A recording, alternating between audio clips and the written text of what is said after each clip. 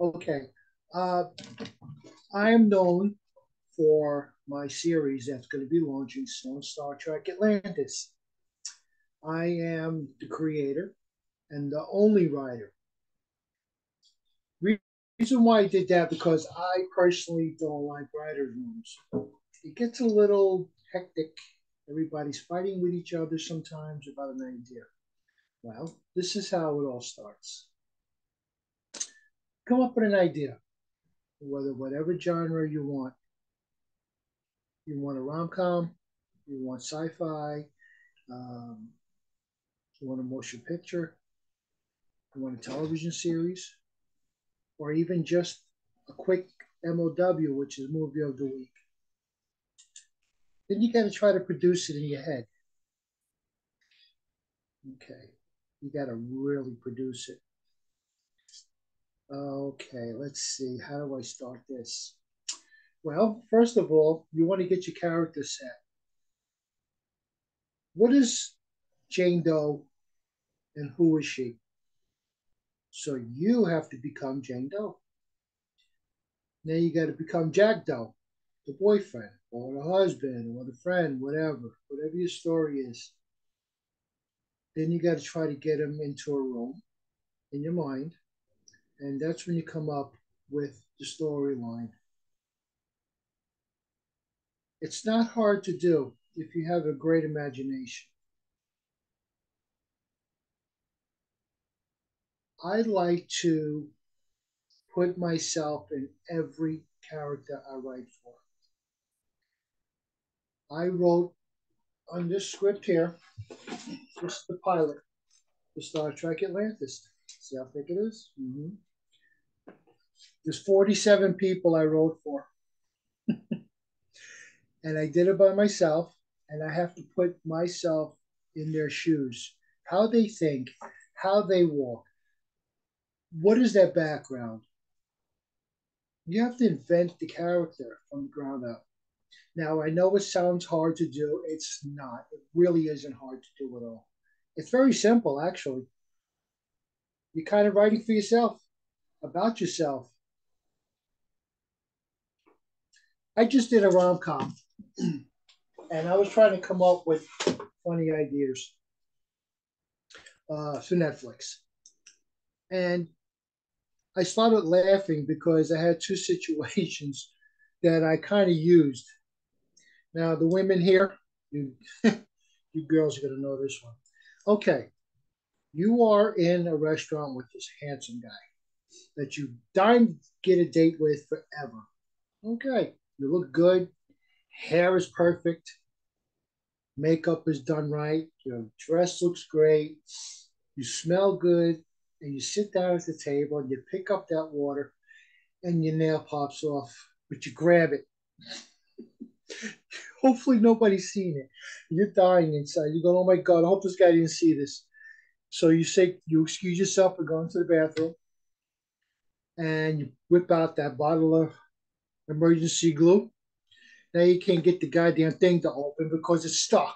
So what do you do? So you finding it open. You're trying to get it open with this damn thing. You can't go back out there with just a bare finger. so what do you do? You pull out a band-aid. That's just the silliness of our lives. This is what the people want to see on television, real life. Not this um, stuffy, uh, straightforward dialogue like, hi, how are you doing today? Like they did back in the 20s. Well, when you write for anything, you want to express yourself in the sentences that are real. As if you were talking to your friend, family, believe me, after you write the first draft, you're going to go through it so many times. I went through Star Trek Atlantis first episode. I must have been gone through it like 60 times till I got it right. Because you always catch that little, that doesn't sound right. No, that's not going to work. And then you fix it. And then when you get it all done, you have to give it to your agent, and then your agent tries to sell it to, to the, uh, the the studio, and then they want to cut it up. So that's another issue altogether. But I want to get back to the reality of screenwriting. It's a business like anything else. You have to you have to build the product and then your agent or manager or lawyer, whatever, has to go to the studio and their heads and the right people to sell it. Once they sell it, once they buy it, you sold it, yeah, great, you get a great check. But now the real work starts. You're going into the studio as a producer, uh, most likely an exec. You run everything, but you're not the showrunner showrunners are the people who actually run the show. Hello. They do the finances, they get everybody on board, they make sure the costumes are ready, and so on and so forth. Uh, your job is to go into the editing room and make sure that the lines are done right, and that's the, the way you want the scene to look. There's a lot of work involved, but you know what? It's hell worth it when you see your name on television created and written by, well, written by. It's a wonderful feeling. It really is. Hey, the pay's not bad either. So, uh, hey guys, feel free to turn on your microphones if you have anything to interject or say, or let's just have fun because that's what screenwriting is about: is to have fun. It is. Now, is anybody here in this room a writer? Is anybody here? All right. Hello, Carolyn. So you get what I'm talking about. Hi, darling. Okay. Don't be afraid to open your mics up. and guys. Okay. Uh, let's see. Oh, I never went to had formal training in writing for for television. I learned this on my own. I was 20. Uh, when I was really, really interested when I was really small, but I wanted to be a cop which I was. I was a cop in Brooklyn and Staten Island, blah, blah, blah, blah. Did my years, did some writing in between. You see my resume, it shows that I did a lot of movies. And I bought my first book on how to screenwrite. This is it here. Let's see if I can move my fingers. Syd Field. And he's not with us anymore, but uh, I kind of liked it. And then my friend Martie Cook wrote a book it got me um, into her way of doing things, which I suggest everybody get. It's called Write to TV. All right, I'm not trying to promote her, but but uh, that helps me because that shows you how to do format, um, how the studios want you to write the page, uh, the blockings, which is scenes. Uh, everybody's got their way of doing things. Uh, like the BBC, they got their own way of doing formatting. uh, I tend to like television because there was a question asked. I I like doing television because it's fast paced. You got a week. Let's let's go from here for a second. I know I'm jumping around. You get one day off a week. okay? Whatever day it is. Monday, let's make believe you got to get the script out. Tuesday, you got to get it edited. Wednesday, it's film day.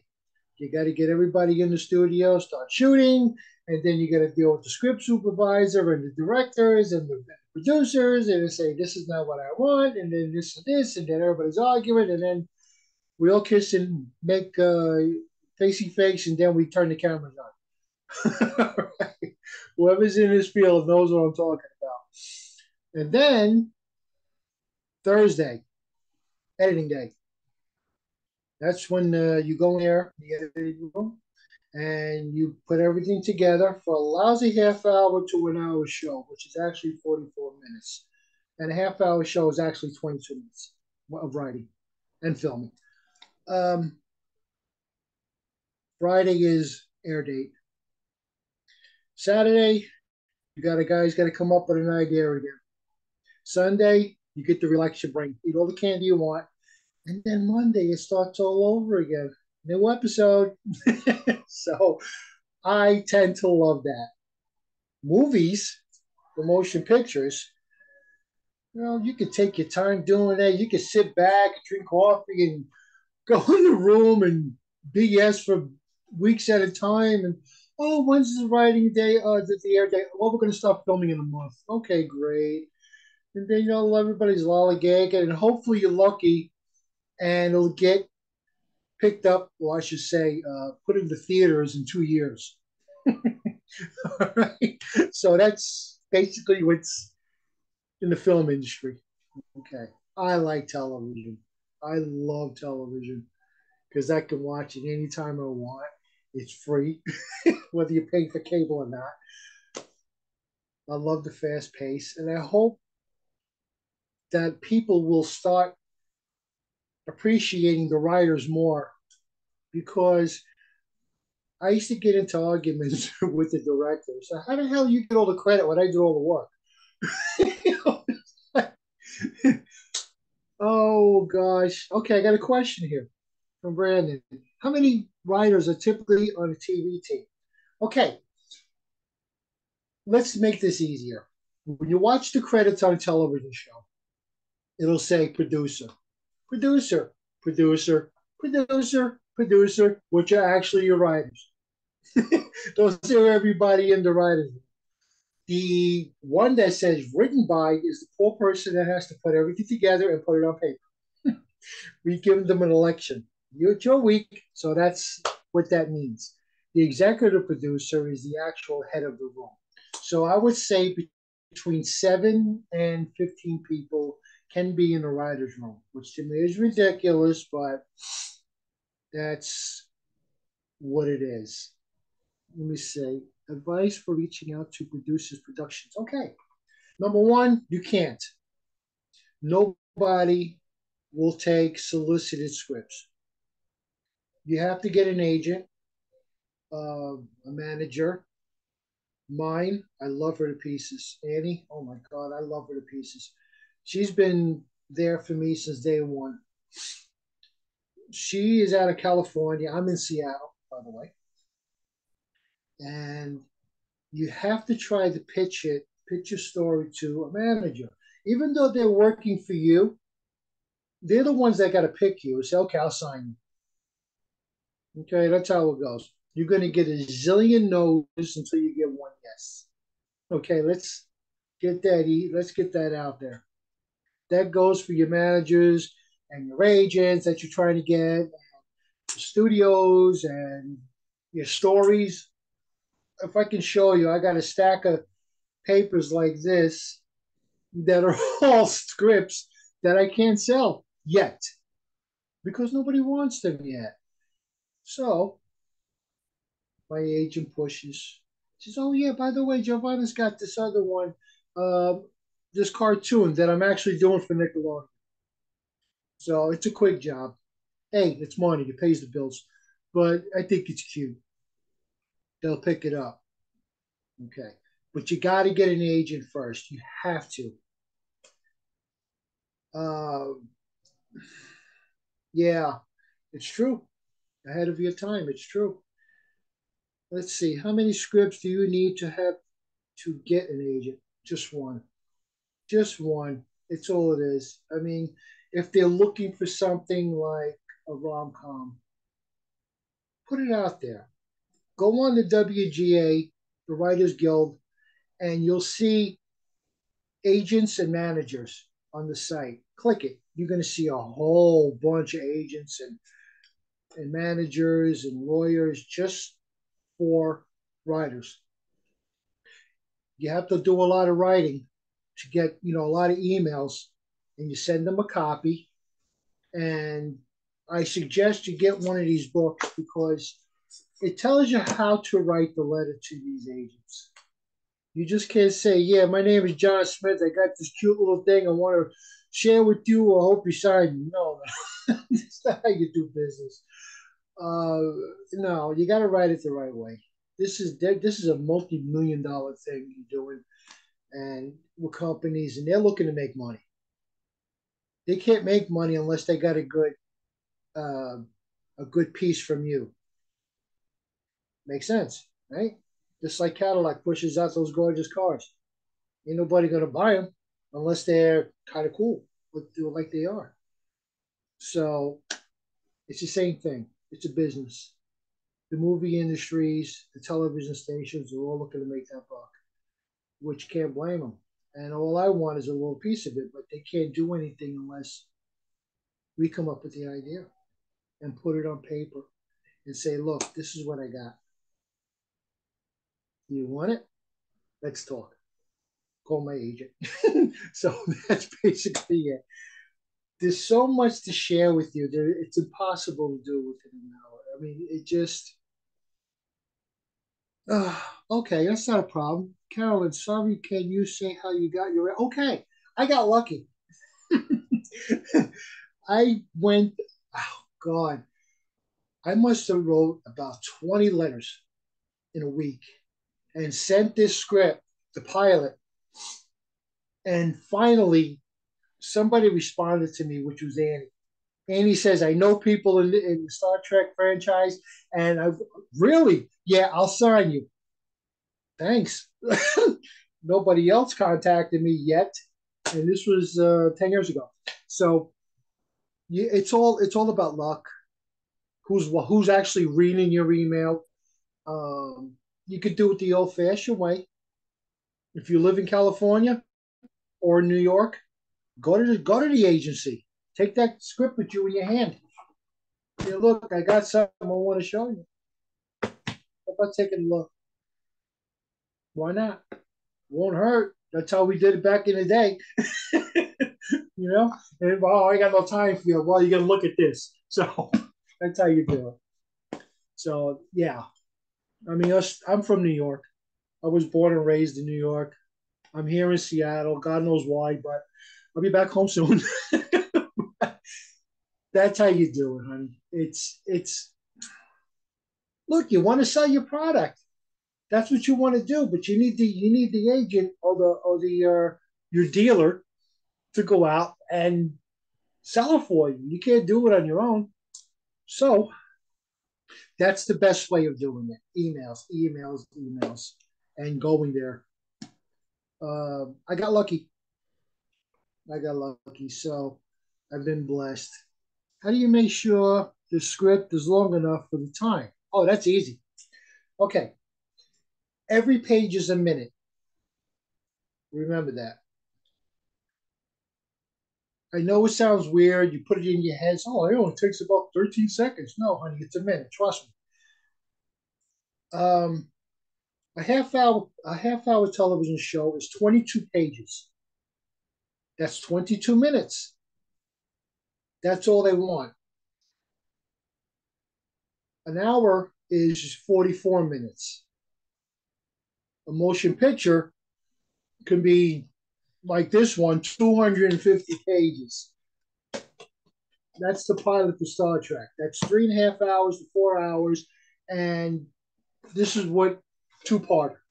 My other my other episodes that I wrote three years worth so far are 44 minutes. Um, that's how you know how long to do it. If you run out of time, like you say, oh no, I, I don't have time for the ending. Well, you're going to have to do some cutting or make it a two parter. It's that simple. it's that simple. Once your foot is in the door, once you got that that initial sell, you got that, you got the check. They, they're going to do your show. You're on set. It's a piece of cake after that miniseries. Okay, I did too. Love it. You could do four episodes at an hour each. Uh, you could do six half hours. Depends what they order. Okay, that let me get into that real quick. A studio will go to an agent and email all the agents and say, "Look, we want to get, we want a dramatic series four episodes of a pizza shop in Brooklyn. We want a dramatic. That's an order. Doesn't mean they're going to buy it. So they're going to get all the agents going to start calling their people. Okay, look, we got got an order here for uh, this and that and that and this. I need to bust it out in a week. Okay, see what I can do. I give it to her or him, and they uh, do what they need to do. Try to sell it. If the studio don't want it, the studio don't want it. Okay, scripts used to be 120 pages. I know you said mine was 250 or most now. Okay, 250 minutes for a television pilot is a lot. But I was told that the Star Trek franchise, usually the movies are three and a half hours. Well, I don't want to bore anybody. So I make it, I cut it in half. I left it with a cliffhanger. Then you're going to have to come next week to see the second half. It's as simple as that. Simple as that. Let's get Cece in the room here. Um, you know what? I think I'm going to open the floor right now for questions. Turn on your mics. Don't be afraid. I'm not going to bite you.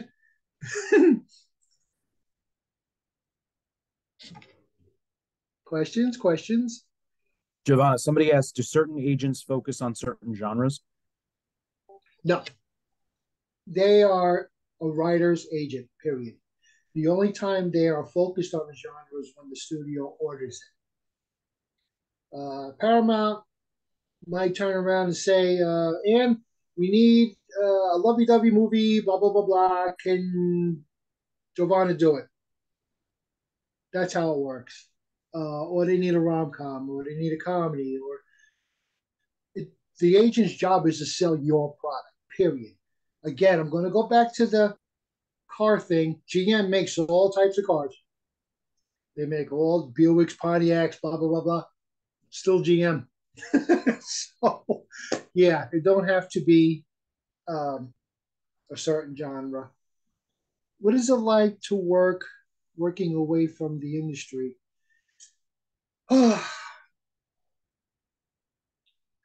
when you're working in the in the city or town, you get invited to a lot of parties. Well, I call them parties. That's how you meet people.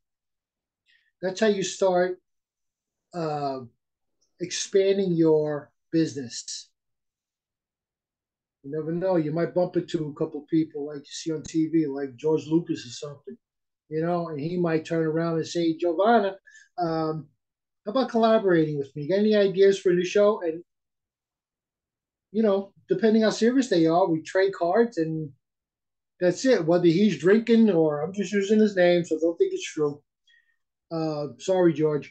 Uh, whether he's been drinking a lot, he might not remember the next day. Well, goddamn, I'm going to remind him next day. you remember that conversation we had? Yeah, well, let's get busy. So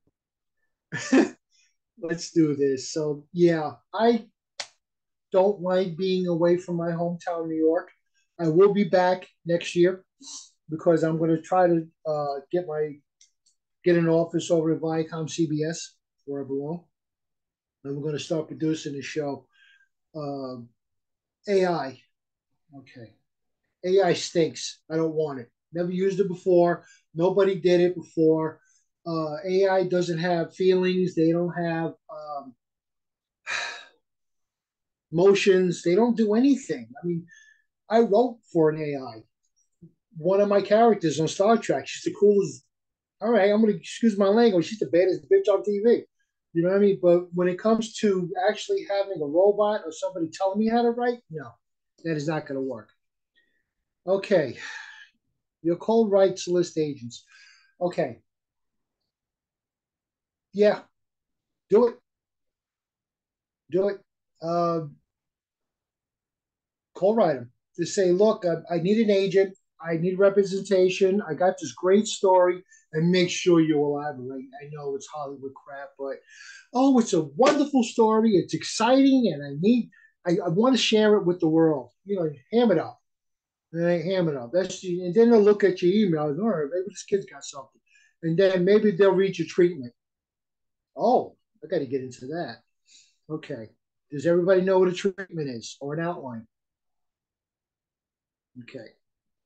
A treatment or an outline is about three or four pages about the story. No dialogue, no nothing. It's just a short essay of what the story is about,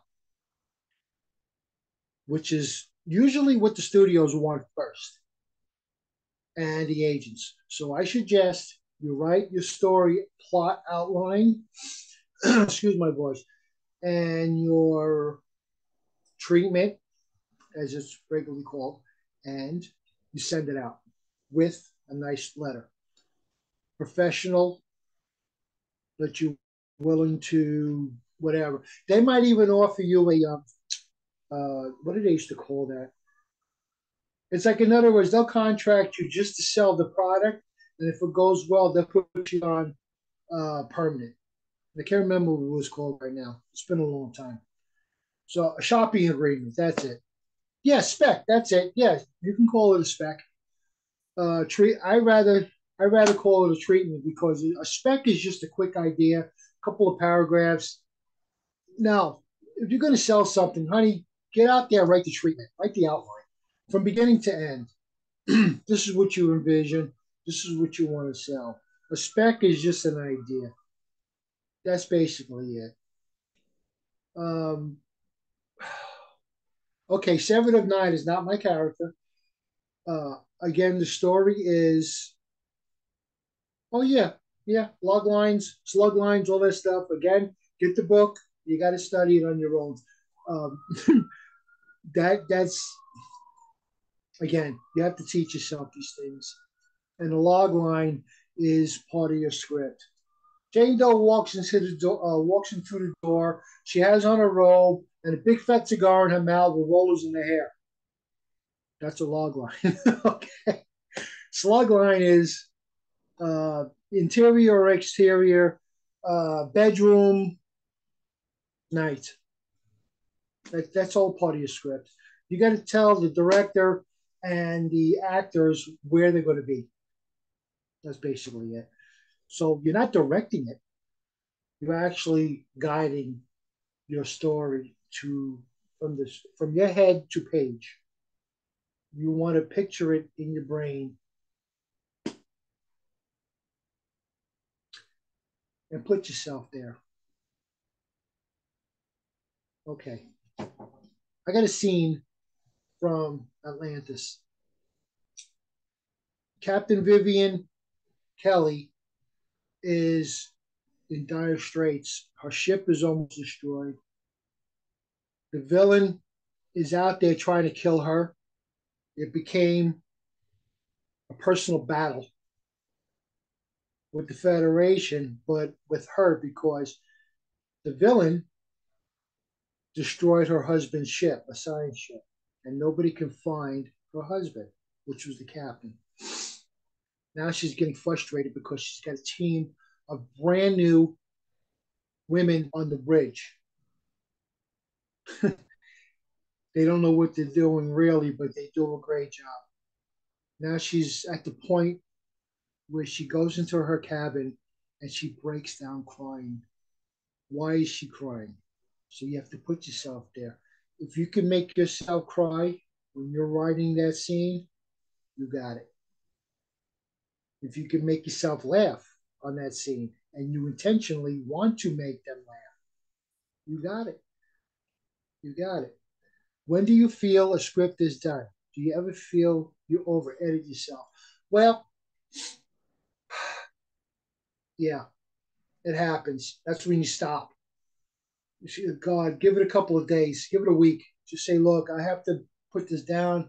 You're screwing it up, you think, and then stop. In about a week, open it up again, read through it, go scene by scene from the beginning to the end, with it going through your mind how it's supposed to look.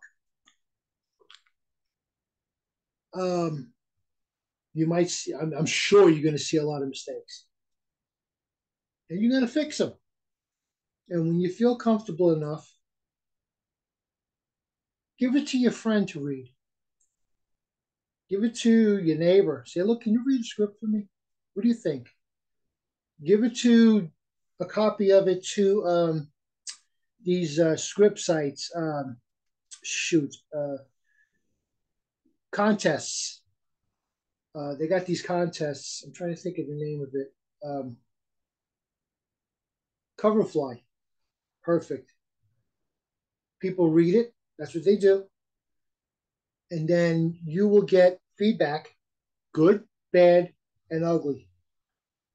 Of course, I always look at the good. Um, give a copy to your librarian. okay, no. um, oh, yeah, get other people's opinions. Talk to them about it. So, look, I'm writing a story. That's what I did. I went online and I looked for every damn Star Trek fan there was, and I says, "Look, this is my idea. What do you think?" And they went nuts over it. Good. I sent the copy to one of those sites to get an opinion, and I got a rave review.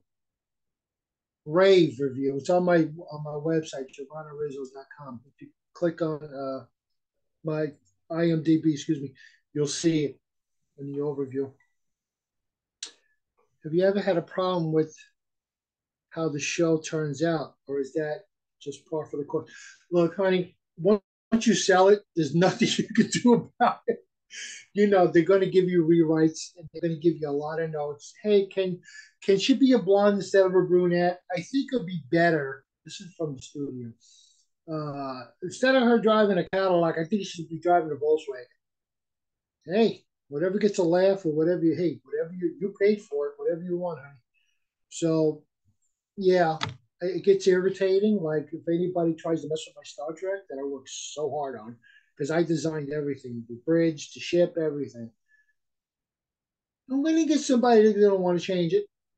And yeah, I'm a girl from Brooklyn, Staten Island. I will fight him. Believe me, that's not what I wanted. And you know, and you know, I have no shame. I got no hair in my tongue. That's just how it is. And you kids from Jersey and East Coast, you know what I'm talking about. But try not to be so much of a tough guy because you got to be known first. Because these execs will kick you out quickly. So, uh, any other questions? Oh, Emily, oh, real uh, quickly. Oh, sorry. No, real quickly. I, this is important. Anytime you write a script, anytime you write a treatment, and you think it's done, register it with the union, whether you're a member or not. There's a registration tab on the site. You pay 20 bucks and you're protected for five years. Nobody's going to take it from you. Your idea, the character is nothing. The WGA will protect you. It's very important you get that certificate. Um, me see. I have a copy of mine here. This is what it looks like. This is for Star Trek Atlantis. Let me see if I can get it over. Yeah, see? Nobody can mess with it. I did one different. I added a certificate of registration with the government also because I don't want anybody saying that, well, Star Trek's a franchise and, you know, basically everything you're saying is ours. Well, okay, yeah, you got that, but the characters are mine, the ship is mine, the storyline is mine. I could change it to a whole different thing. You know, I don't have to be Starfleet. I could be something else, but I don't want to do that because I love the franchise too much. My job was to fill in the holes of the story from 1966 when the first TOS came out till now, you know. And what I did with this story, I filled in the holes that people had questions about. Um, what else? I'm sorry, somebody had a question. Let's do that. Emily has a question in chat that just says, "How do you approach feedback, both giving and receiving feedback?" Honey, you're gonna you're gonna get a lot of people that either hate it or love it. It's just simple. I mean, you can't take it personal. People are different. Everybody's got the right to their opinions. I always said if you don't like the show, turn the channel. it's just simple as that. There's 700 channels out there. You don't have to watch my show, but I would love you to. If you like it, great. If you don't, I'm sorry. Maybe I'll come up with a better idea to suit you later. But right now, I'm working on this project. I hope that that answers it. You can't take it personal. You can't. You really can't. I know it's hard, but you're not a bad writer. It's just that some people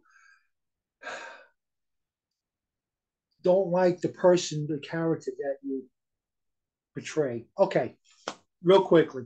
I'm writing a story for Netflix. It's already registered so I can talk about it.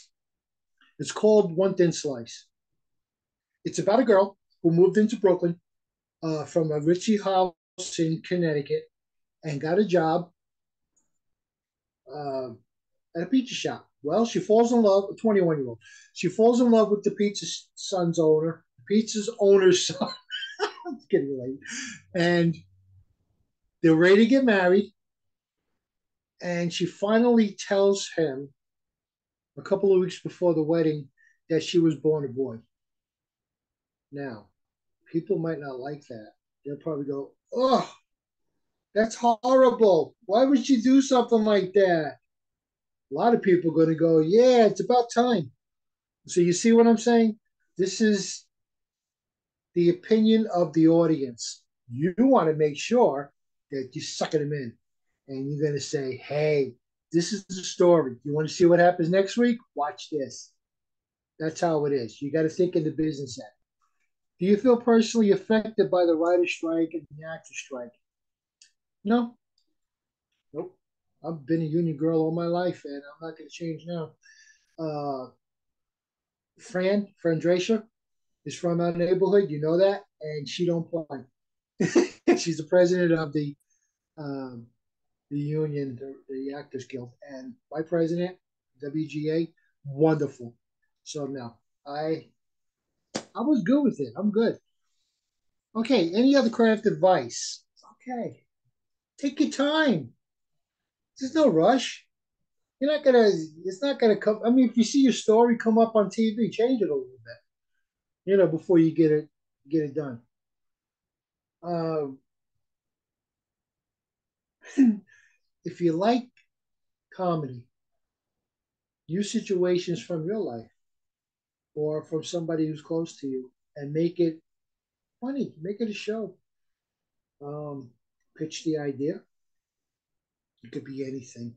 It could be about a kitty cat, like my little kitty cat Charlie over there who's snapping right now. Uh, I could write a story about her. I could write a story about a remote control. That's that's how you have to keep your mindset that you're a creator, you're an artist. This is your art. This is your craft. Like a sculptor, a, a, a painter, you're creating stories. You're putting it on paper. You're going to tell the world your story, which is fantastic. It ain't about the credit. It's not about the money. It's about what you put from your heart to the audience, like I'm trying to do right now with you guys. I'm just happy nobody hung up on me. so, you understand what I'm saying? So it's a craft, it's an art. You got to take it so serious. Don't don't write two lines and say, "Eh, forget about it. I'll do it next week." No, honey, finish it. Get that while it's still fresh in your brain. Put it on paper. You know, hey, oh, by the way, guys, you're always welcome to email me. Go on my site. I'll I can email you back and forth uh, however long you want it. Uh, I can give you advice. I can read your your treatments or whatever. I would love to do that for you because we need more writers out there. And I hope maybe one of you guys can do it. That'd be nice. What else we got? Anybody else? Favorite TV show of all time? Oh my God. I always, what got me, okay. when I was younger, hmm, I was into the old movies, and the television shows what I still watch to today is like Dick Van Dyke and oh god, Adam Twelve, which I was madly in love with the guy with the black hair. Um, Gilligan's Island, stuff like that. Whatever made me laugh, those were my favorites. I don't have a favorite favorite show because I like all kinds of genre. When I watched the TV show, yeah, I giggled a lot, but I always noticed how many cameras were on that scene. Like every time a scene goes to another position, my mother used to go, "What are you looking at?" I said, "I'm counting the cameras, mom." So how do you know this? It's just it's just every time the scene moves, you notice another clip. And she used to tell me that's editing. I says, I know, but the angles are different. So you have to look at the inside and out. That's what I used to do, even in the movies when I'm watching the old movies. Um, favorite TV character? No, I love them all. They all work hard and and I'm proud of every one of them, dead or alive. I just love them all. Anything else? Come on, speak up. We still got about 18 minutes, so go for it.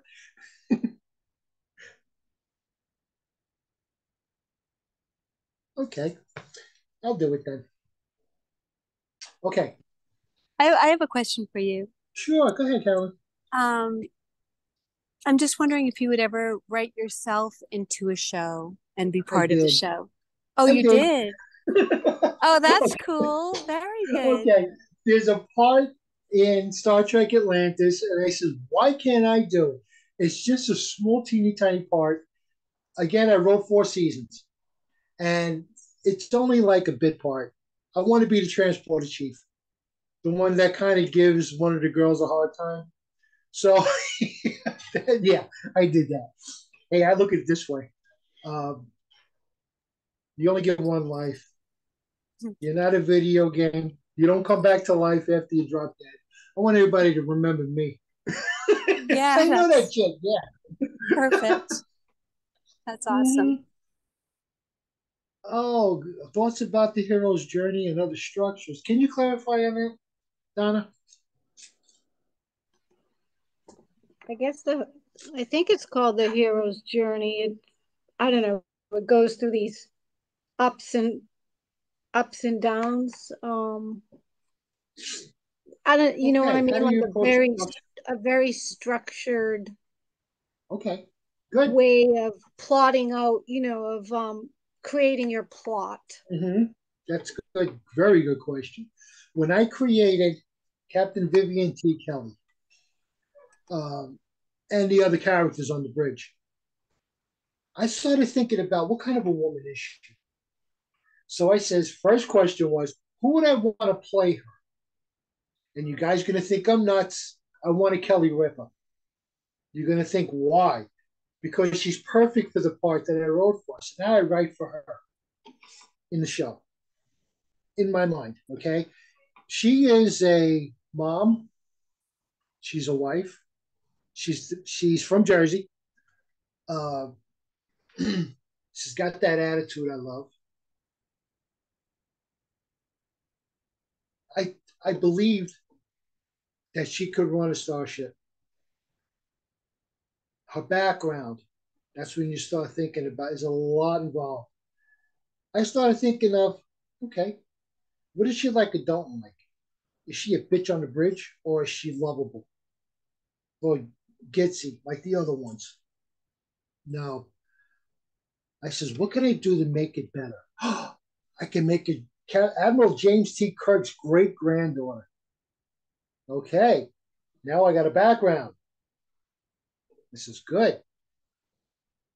Who else would I put on there? Who was she like? Well, she's got two kids living on Earth.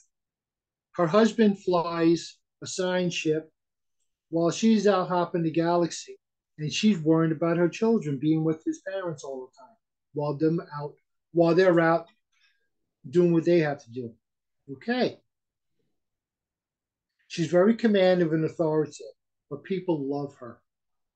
She's very well respected, but every enemy and every species on in the galaxy is kind of frightened of her because she doesn't she knows how to pull the trigger. Hmm. you get what I'm saying? So that's how you start from the bottom and you work your way up. And every time you write an episode or a scene or a block, you add something more. Like she's sitting on the bridge. The ship goes into a wormhole. Why did it go into a wormhole? They're trying to stop the, the, the ship before it hits the sun. Well, they finally get out of it.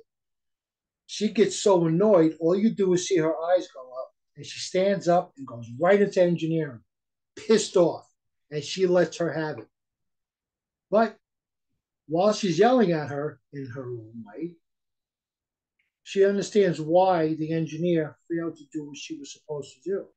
And now her attitude changes, still too authoritative, but empathetic. She goes, Okay, I understand. But the next time it happens, I'm going to tie you on the back of the ship and I'm going to fly you outside yourself, all by yourself. So, yeah, you have to build it as you go along.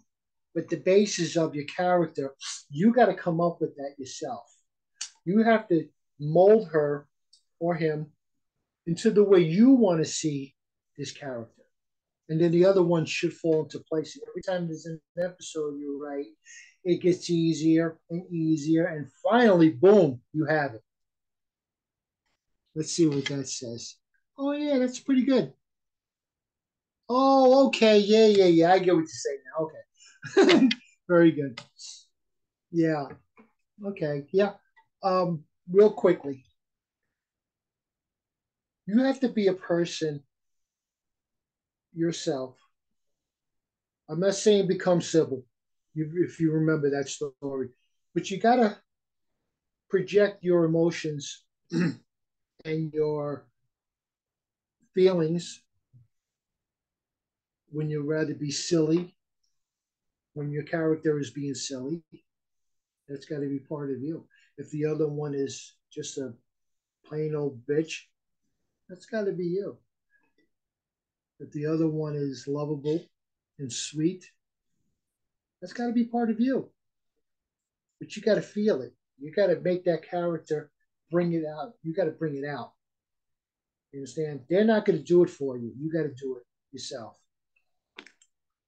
You got to guide them. So every time you write a line like um, Amanda, underneath the, her name, there's parentheses on her mood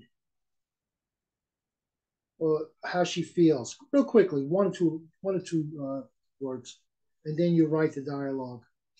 Again, everything will be in these books.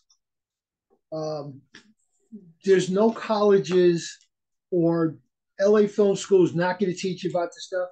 They only teach you the, the business end, which I went. I got a bachelor's in video production and television production, uh, but they never offered a class on screenwriting. They'll give you great English lessons, and teach you the format, excuse me, but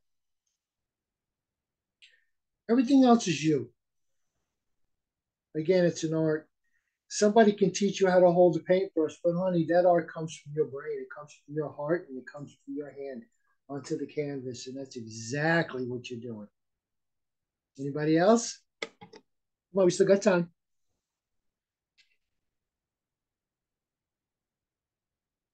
Come on, don't be afraid. Turn on your mics. Let me hear those beautiful voices. Hi, this is Christine. Would you um, show us the books again and the book title? Sure. Thank you. I'm gonna I'm gonna push this one. This is Write to TV, Martie Cook. Now there is a newer edition on Amazon um, that she just done. I think it's the third edition because you got to understand this industry changes so much. You got to keep up with the times. It's just that simple.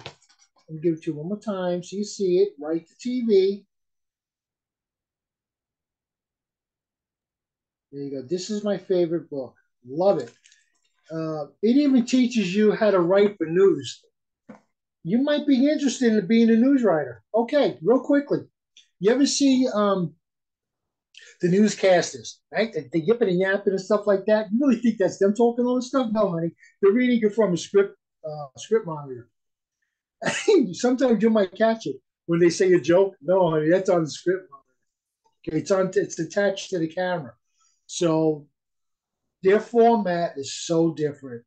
It's actually like a split screen, and you got video on the left, and then you got what you want them to say on the right, and then it goes through a roll on this monitor in front of them, and yeah, and it just tells them what to say. So that's that's a different genre you might consider about doing. It pays very well too. Uh, anything else?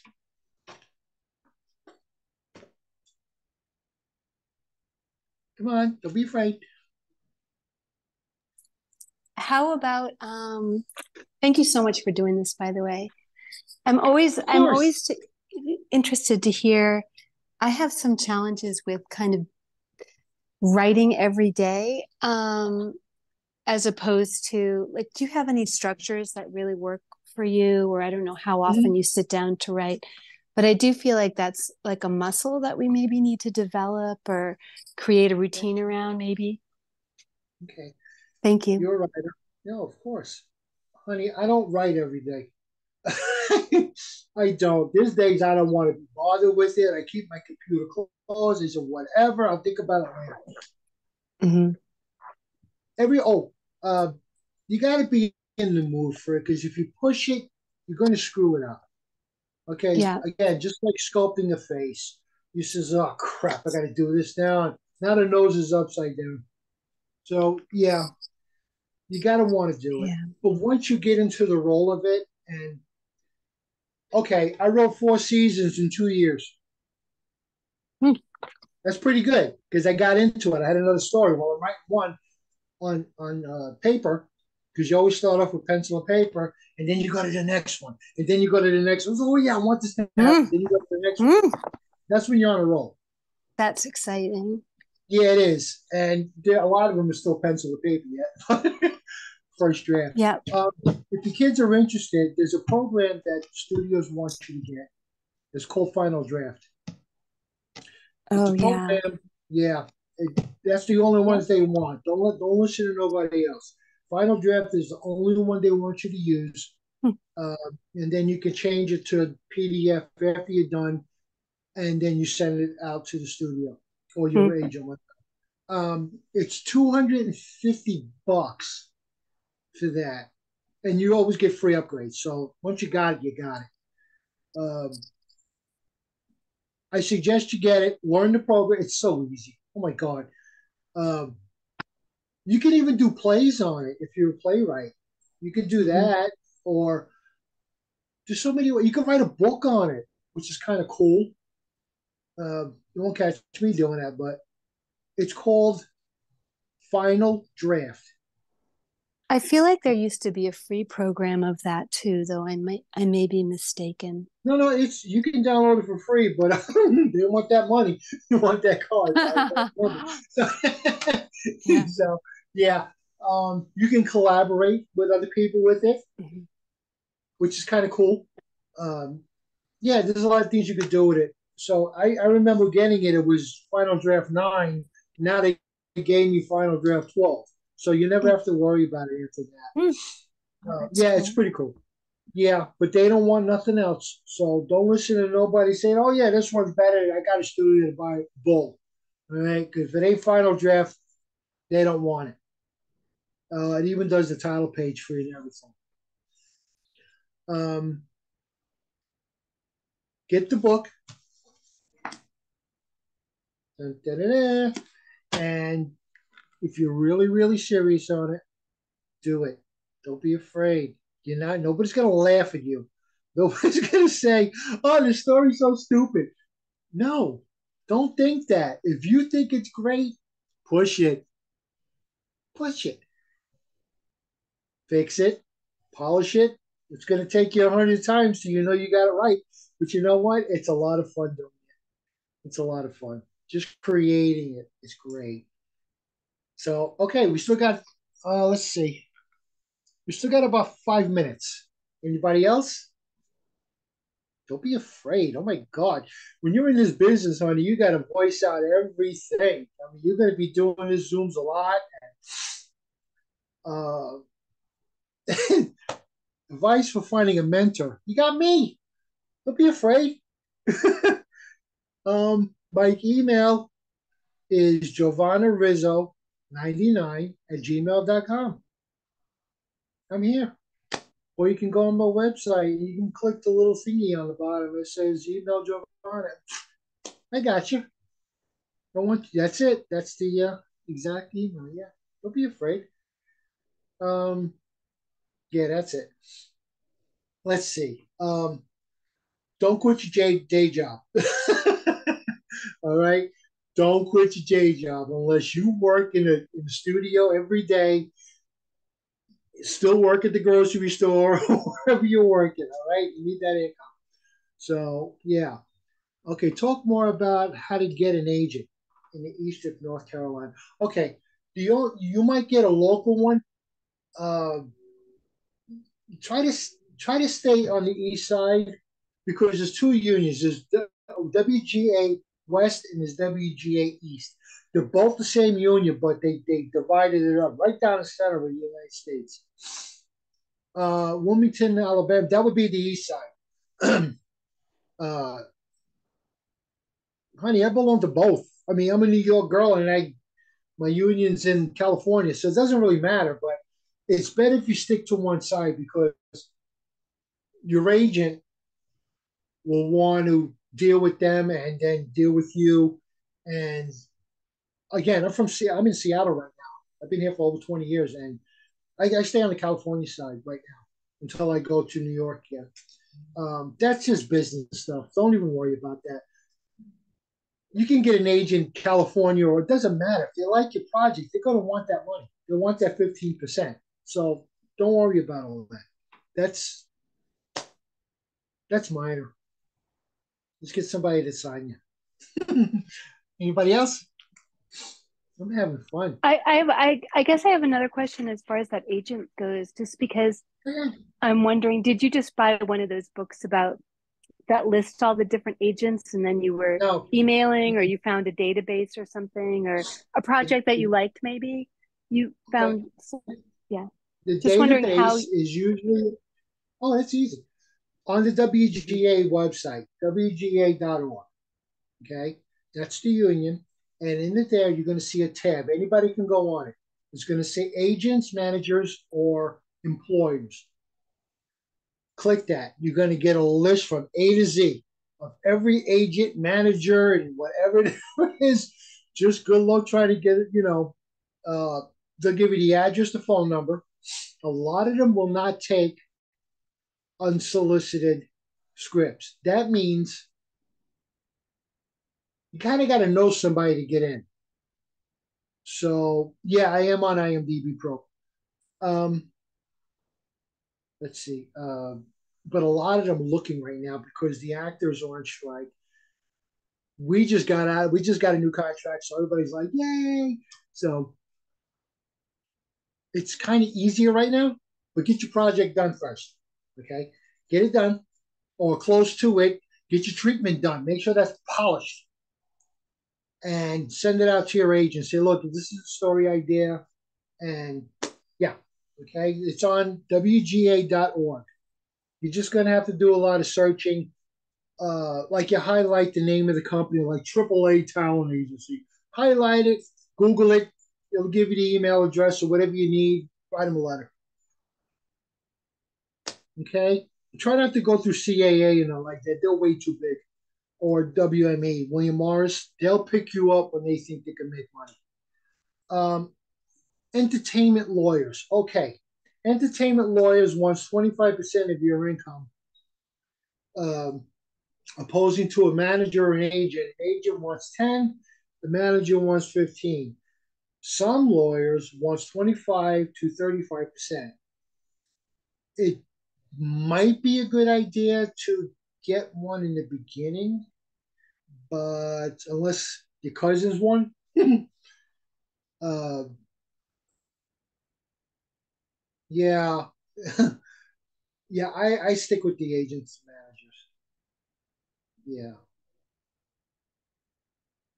If you don't have a manager or an agent, well, you got to start somewhere. But again, we're over time right now, and I don't care. So if your kids are okay with it, we can go another couple minutes.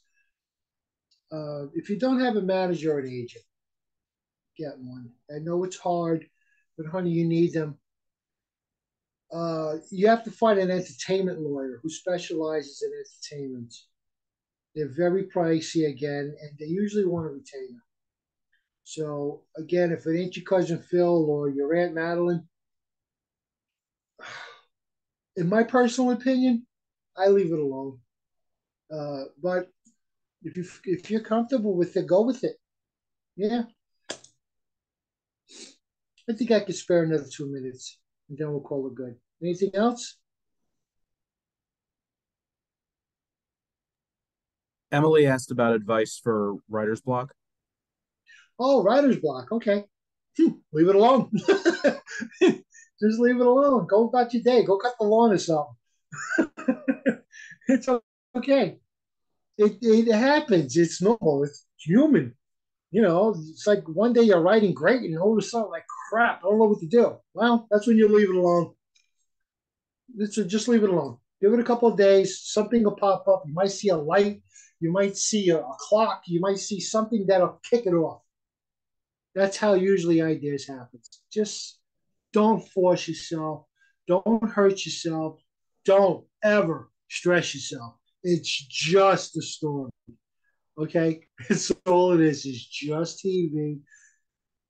It's okay. Just sit back and relax. okay. Um, Jerry, what do you think? I think if you're good and everybody else is is satisfied and they don't have any more questions, I I think we're good. All right, good. Like I said, kids, contact me anytime, honey. It's okay. I'm not gonna say I'm too busy for you. Never. Because if you're really serious about the craft, I will hold you. I will do what I need to do to get you going. Okay. All right, guys. I love you. Thank you so much. Thank you for sharing. Oh, thank you for inviting me, and I love it. I hope to see you kids soon. All right. Thank you so much. All right. Bye, everybody. Bye. Thanks again. Oh, bye. Bye bye.